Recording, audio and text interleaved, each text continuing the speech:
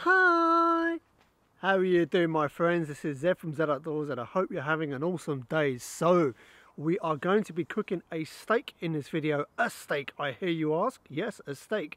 So this video is in response to a um, challenge that was put out a good few months ago. So I'm quite late to the party with making this particular video. And what this video was, this was started by Haze Outdoors, the Yorkshire Stallion.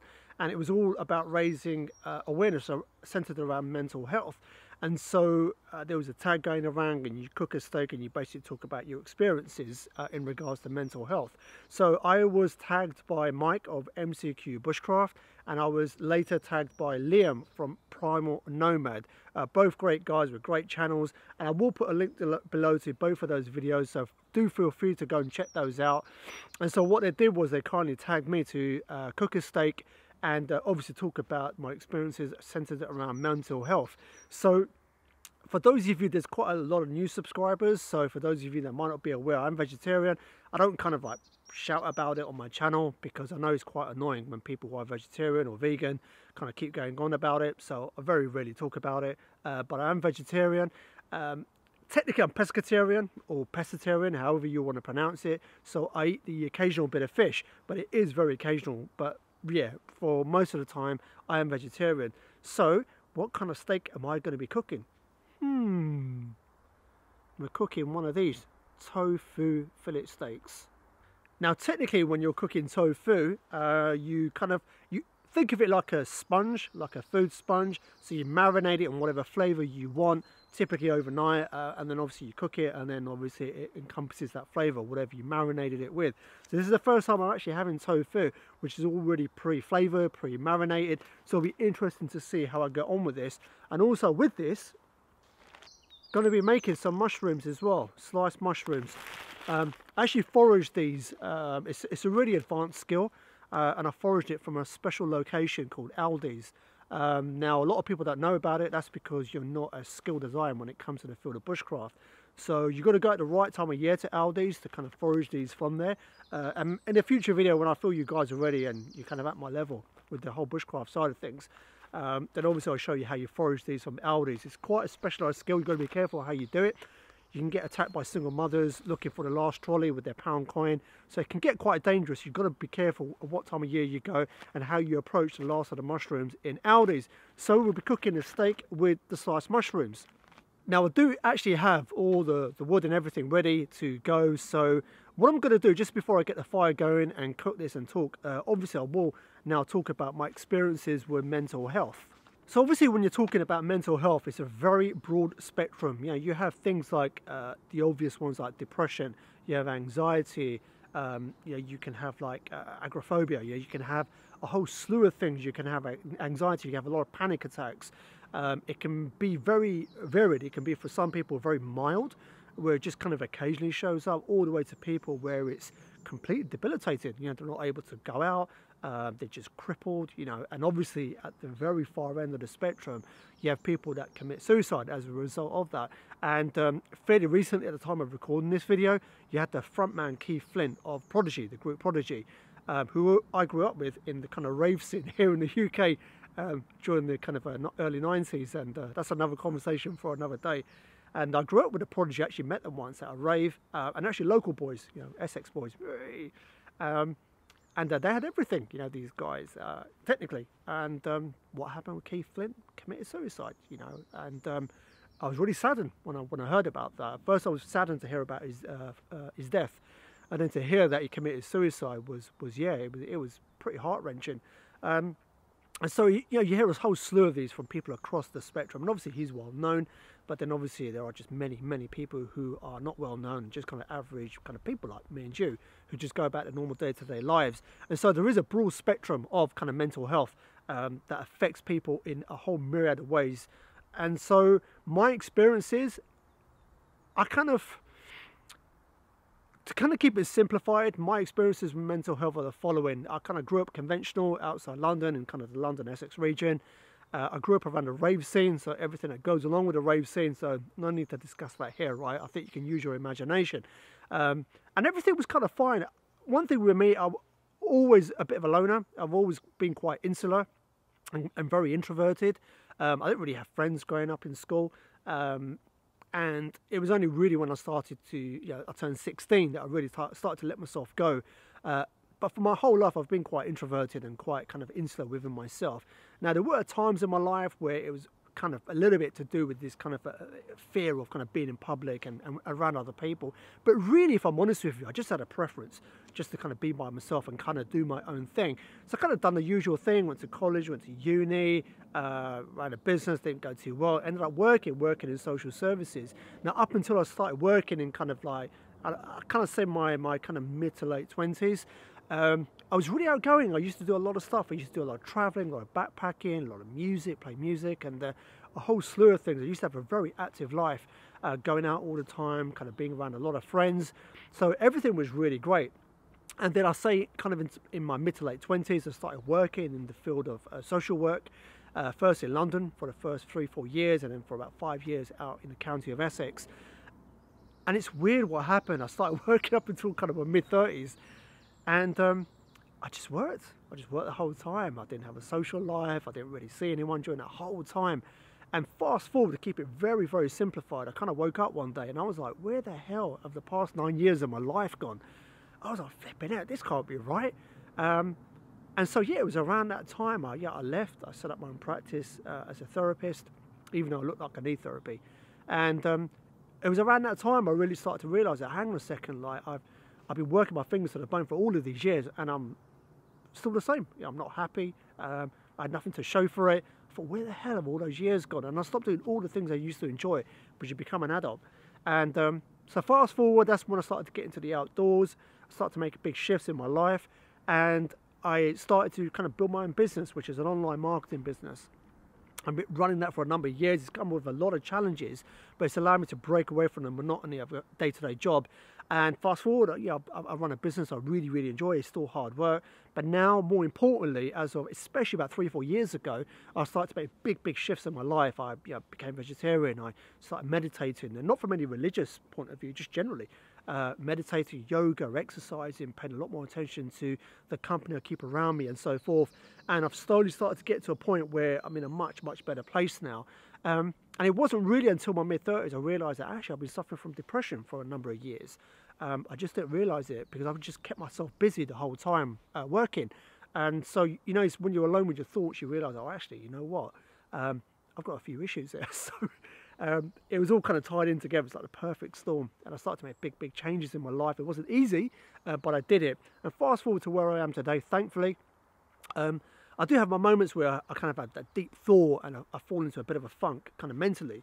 But generally, 95% uh, of the time, I'm actually fine. I'm grateful I don't have anything debilitating in terms of my mental health, uh, and I've got myself into a good place. But what it's required is me taking ownership of my life, which I'm going to talk about in a moment. Uh, but it's it's taken it's, it's got to a point in, it got to a point in my life where I, I I stopped blaming everyone else uh, and just took full responsibility for everything, for where I was at in life, and then subsequently taking the steps to then rectify that. And it all just came down to just looking at every area of my life and then making sure I got it into order.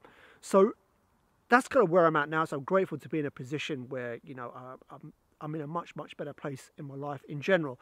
Um, but I have been through that funk, and trust me, I know what it's like. I've lost friends uh, to mental health and you know, committed suicide and a, a, whole bunch of stuff. A close friend of mine who suffers from really bad panic attacks. Um, and so I know what it's like. You know, I worked in mental health for a while as well, so I'm very, very familiar. So that's kind of where I'm at now. More importantly, you know, I don't like to call it my advice. I'm not someone to give you advice, but my thoughts on the whole topic of mental health the first thing you've got to do, you've got to treat it holistically. You've got to realize it's not just one thing. You know, uh, when you look at any field uh, aspect or symptom of mental health, it's an accumulation of things. It's kind of, um, uh, it's, it's, all the things you've done up until now, the decisions you made, the food you eat, the company you keep, uh, the books you read, the things you watch, and everything that happens in your life from the moment you wake up to the moment you go to sleep. And so the moment you realize it's a holistic thing, you can't look at just one area of your life and then that's the reason why I'm suffering from depression or anxiety or whatever it is that you may or someone you know may be going through you've got to realize that actually it's a very holistic approach you've got to take to that and with that in mind this is what I did and this is maybe a, a suggestion if I may uh, if you're going through anything and that is the following it's fair enough me saying you've got to treat things holistically, but here's what you really got to do on a practical level. The first thing you've got to do is you've got to break down all areas of your life. You've got to break down your health, your relationship, and literally take out pen and paper. Look at your relationships, look at your finances, look at your work, look at your hobbies, your interests, your friends, um, you know, uh, your, your, everything, every area of your life. You break it down into its categories. Then with each uh, topic, what you then got to do, you then got to write down all the things you feel are not going right. And this is where you've got to be really honest with yourself. Don't don't lie to yourself. Don't don't kind of think know, you've got to write down something that, that looks good. No one else is going to see this, only you are going to see this. So what you've got to do is write it down. So for example, it could be relationships. If you feel there are certain things in your relationship with your spouse or your family or, or whatever, or with your friends that is not going well for whatever reason, um, then write that down. If there's people you've fallen out with, if there's people you've got uh, you know, issues with or whatever. Same with your finances, same with your health. With your health, be really honest. You know, if there's things in your life, you know, you're, you're, you're drinking too much alcohol or you're eating fast foods all the time or whatever it may be, write down all the things. And this will take a bit of time, you know, when you're first doing it, because you maybe never put that thought there before. Uh, but sit down, write down all the things you feel are going wrong in your life and be very, very specific. And this is the key here. You've got to be really specific about all the things that you feel are not going right in your life in all the different areas of your life. And this is an ongoing thing, this list. You know, every day you're going to keep adding to this and keep doing that. Now, once you've done that, on one side. Now what you've got to do on that same list is write down your ideal scenario where you want to be. So with your health, write down ideally where you want to be. Maybe you want to be in a position where you cut down or, or stop drinking or you stop smoking cigarettes. You know, you um, you, start drinking more water. You um, you want to eat a more balanced diet, whatever it may be. Same with your finances, your relationships, your family, uh, uh, relationships with your children, um, you know, your hobbies, whatever it may be. Write down all the, the things, the ideal scenario where you want them to be at. And now here comes the key. You've then got to work out methodical steps to get from where you are now with each of those things you've written down and taking them one, one step at a time, methodical steps to where you want to be. So for example, if you're smoking cigarettes and your ideal scenario is to quit smoking cigarettes, then let's say, I don't know, for example, you're smoking 20 cigarettes a day. You, your goal might be over the next year, you're going to quit. So one week at a time, you cut down, you know, uh, or every couple of weeks, you cut down by one cigarette. So by the end of the year, you've completely eliminated. And this is the key. You've got to be methodical. You've got to be realistic. You've got to be pragmatic. But you've got to take very methodical steps. You know, how many times have you seen people with cigarettes? They would say, right, that's it, I'm going to quit. They crunch up the cigarette packet, throw it in the bin, and then two days later, they're back in the you know newsagent buying another packet. Um, that's why you, you know you've got to be quite methodical in how you approach it. And the important thing is that you just take one step at a time because a lot of the, the anxiety that you feel, once again, whatever uh, spectrum on the mental health that you're suffering from, you're going to realize that actually it's taking you from where you are now to where you want to be, one tiny step at a time. And it's all about small incremental changes. It's amazing how time flies by, especially as you're getting older. Uh, so it's very important that you just take those little baby steps and you're going to have hiccups along the way, and that's all going to be great. Uh, but you've got to do that. Another important thing is and I've got to be careful how I say this, but you've got to be, you've got to take a really, really strong stance against the people around you because people are going to mock you. They're going to say, oh, he's not going to do this or she's not going to do that. Oh, you know, why are you wasting your time for whatever it may be? Um, and you've got to kind of block that out completely. You know, you really do. And do it in, obviously in a very polite, uh, uh, delicate manner, but you've got to be quite ruthless in terms of that company you keep around you. Um, and just knowing that this is important for you, that you've got to do these things, okay? So that's really the steps, taking, being honest about where you're at in all the areas of your life, where you want to be, and then making small incremental steps and changes along the way to get there. And here's the thing, the whole thing is a journey. You know, I always say life is a journey, it's like my tagline. Um, and it really is, it's a process along the way. And what's going to happen in the very beginning when you do this, you're going to think, well, where the hell do I start? How do I know what I'm screwing up on and what makes me unhappy or you know, what I want out of my health or, or finances or relationships? And that's fine. The key thing is by, by starting that discussion with yourself, you're planting that uh, seed and that will grow every single day as you move forward every hour of every day of every week of every year and what will happen is that will just compound itself and what you're doing, you're, you're replacing bad habits with good habits. The big thing you find with depression, I talk from experience, is you get yourself in a rut and it's like this whirlwind, you know, that kind of drags you down into the ground. And once you get on that, you're just going down and down and down and down and down. And so what you're doing by replacing it with good habits and, and, and good routine, you're kind of reversing that and you're going back up and now you're pushing yourself forward one tiny step at a time. I appreciate, especially when you've got depression or anxiety, to be in a bit of a funk and not be able to function at all. And that's fine. Sometimes you've got to just let it be and ride it out. But really the key, and this is where I want to end off on, what I found for myself is the key is momentum. You've got to have momentum, forward momentum. Every day you've just got to be doing stuff. You've got to be pushing yourself forward. You've got to be setting yourself goals in different areas of your life because that now gives you purpose. And it doesn't have to be anything grandiose. It could be small, like tidying up your room. It could be, you know, spending a little bit more time with your partner or whatever it may be. Um, spending a little bit of time on your hobbies and, and things that you're actually passionate about. Um, so all of these things is all about setting yourself goals, being realistic uh, about what you're going to be able to achieve in a short space of time, be it a week or a month, you know, or, or even a couple of months uh, and then taking those small incremental steps. But the key thing is, is that you set yourself those goals, you know where you're at, you know where you want to be, and you set yourself small milestones along the way. And the key thing is by having a routine planned out and mapped out every single day of every week, what it does it removes the opportunity for that depression to kick in, the anxiety, the stress, because you know, like I say, the idle mind is the devil's playground. You know, so if you if you've got no purpose, if you've got nothing to do, if you've got nothing to live for, then of course, you know, it's just going to fester and make things even worse. So that's where I want to kind of end off. The key thing being, uh, and I'm not trying to make it sound like some, you know, woo-woo kind of personal development speech, but yeah, I'm talking from experience and what I've had to do, and it's not been easy. You've got to enter some very dark places in your mind. Um, but by doing that, that's your only option. Your option is to move forward or just to kind of like slide into a very slippery slope, a very dangerous slope downwards.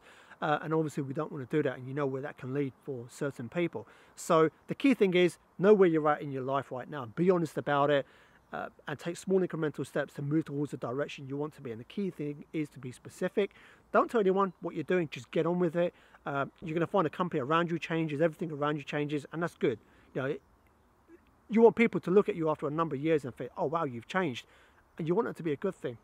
you want that to be a good thing, right? Um, but you don't want to be the same person you were last week or last year or 10 years ago. You know, that's a, that's a scary thought. And I was at that place in my life. So there you go. Those are my experiences. You know, um, I hope you find some resolve in what you're doing. Uh, but the key thing is, you know, you've got to be, you've got to take a very practical approach to dealing with these things. It's not easy and it's going to take a lot of time and sometimes it could be a, a lifetime's journey uh, resolving all of these issues. But you've got to make that start um, and I wish you the best of luck. There you go. So I think it's time. Should we get the steak on? Should we do it? Let's get the fire going. Let's make our steak.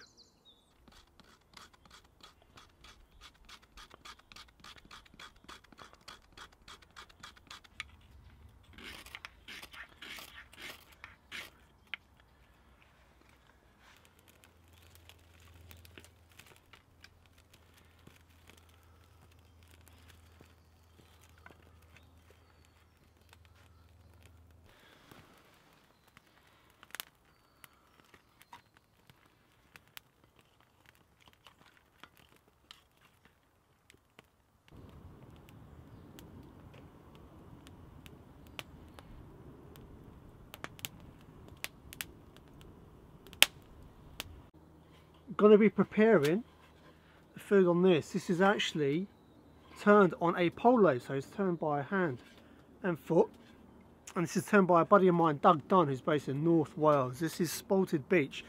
Beautiful work. It's actually quite difficult to turn these, but he's done an incredible job. Right, so we've got our Aldi's mushrooms. I've been foraged from Aldi's. So an advanced technique, like I said, I'll show you in a separate video. Man, I love my mushrooms.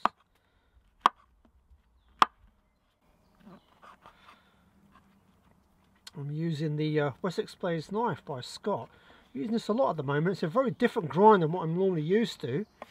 But you know what? That's uh, I really like it. It's a real workhorse. It's a much thicker stock than what I normally use also. Um, so what I find is I'm just able to give it a much more of a battering really uh, compared to kind of normal knives. Even normal knives, I'll be honest with you, I just kind of batter them around as per normal. I don't get too delicate about them. But this one, because of just the way it's built, built a bit, bit stronger than your normal standard knives. I'm actually loving it. So there we go. Chopped up. So first thing we'll do, we'll get the steak on Then we'll do the mushrooms. So my preferred utensil for today is this serving spoon made by Buddy Lee Stoffer. Beautiful work as always. Birch, I believe this is from. Beautiful shape. And also, I started using this stuff here. oh yeah, that's what she says. For cooking, that is. Let me specify. You and your filthy mind. So I started using this stuff as of about a year ago because of my buddy Mark. So if you see in the earlier stages of the build of this base camp, uh, you see my buddy Mark, who will be making a return. Um, and uh, he put me onto this. This has been out for years, this spray olive oil stuff. And the thing is this, I've been using the standard olive oil. I didn't really think too much of this, didn't give it too much thought. Then he started using it, he piqued my curiosity. And I tell you what, I don't know why I didn't use this before, you know, this is amazing. Seriously, it coats the uh, uh, frying pan or wherever it is you're, you're applying this to a, a lot more evenly.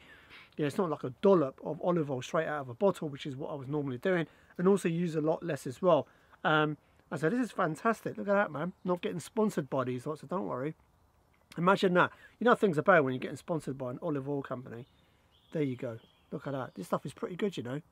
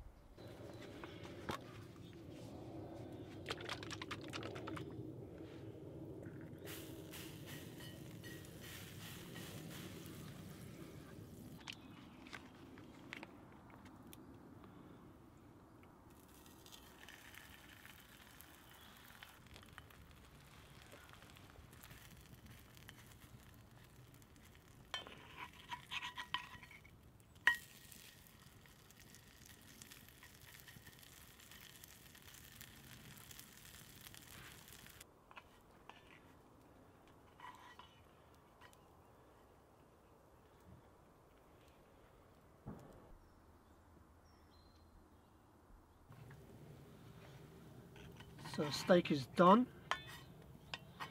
What we'll do, we can just move that to the side of the pan. Keeps it warm.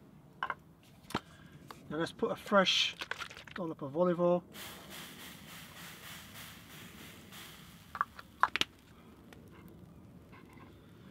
And go to mushrooms. Oh, oh, oh. We've got two pieces sacrificed to the fire gods. That's fine.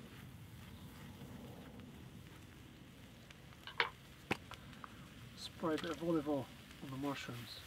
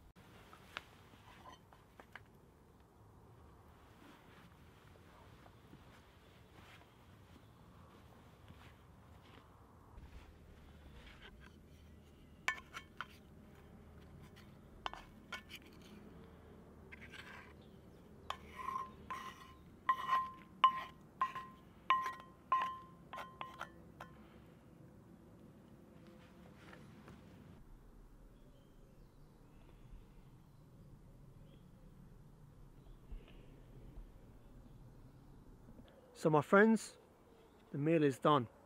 Oh, the, the, mushrooms look burnt, but they're not. They're just darkened up. Man, it smells really good, you know. It's a shame we can't have smelly vision on these videos. I'm actually christening this. It's Malcolm from the Hidden Woodsman. It's a meat eater. A meat eater. So I've not used it yet, so let's tuck into the mushrooms, the mushrooms. So good.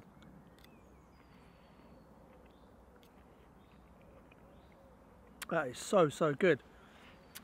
Well, the main thing now, so you cut open the steak And you know what, it won't be a bushcraft video unless we use a proper bushcraft now. Look at that, that's proper bushcraft that mate. Wessex blades, love this knife. So let's cut this open, and you can't see it on video. Cutting it open, tofu looks done. Let's see, see the moment of truth. There we go.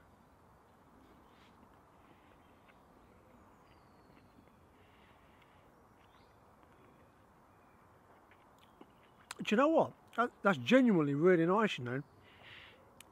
It tastes a little bit like uh, bubble and squeak. I don't know, I think that's just a UK thing, right? Bubble and squeak. But it tastes like that. It actually tastes really nice, you know. I'm not just saying that, trust me, if it wasn't, I'll tell you. Actually tastes pretty nice. Like I said, the tofu I usually marinate, marinate myself. This is pre-marinated. and in fact, the tofu, a lot of the time you get kind of the cubes already. You can get the slices as well. I thought this just saves me a lot of hassle coming out into the woods and cooking it. But you know what? Honestly, the tofu and mushrooms have come out all right, you know.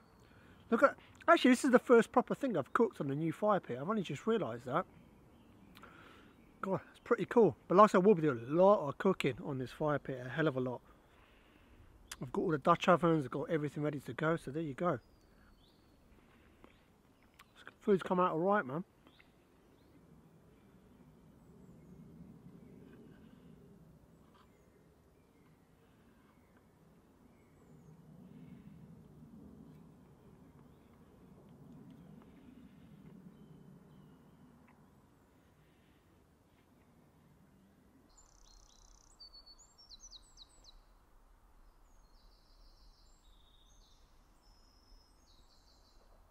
So there you have it my friends, that is a wrap for this video. I appreciate you watching and I shall see you on the next one. And until then, as always, I hope whatever you're doing, you have a blessed day, a blessed week ahead. This is Zed from Outdoors. Peace out.